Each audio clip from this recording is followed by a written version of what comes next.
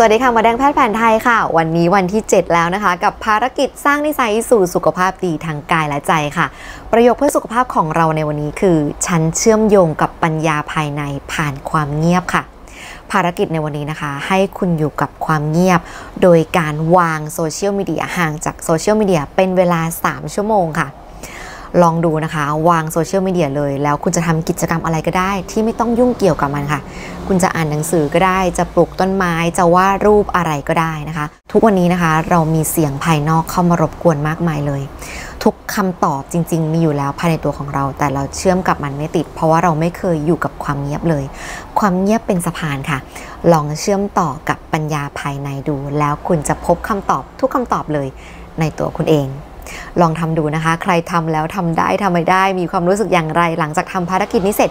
ลองนำมาแบ่งปันกันใต้คอมเมนต์นี้นะคะ แล้วเดี๋ยววันพรุ่งนี้ก็กลับมาพบกับภารกิจต่อไปค่ะ